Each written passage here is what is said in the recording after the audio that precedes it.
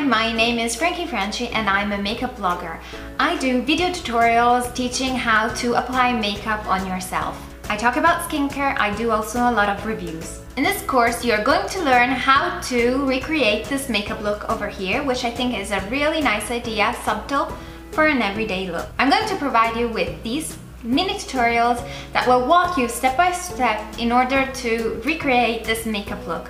Don't worry, it's gonna be easy. I'm gonna walk you through it and you will manage. I'm all for enhancing your natural beauty. I don't like to wear too much makeup. That's not my style. As you can see, this is a very simple makeup look, but yet very effective. This makeup course is not for those interested in dramatic looks, photography looks, or advanced makeup techniques.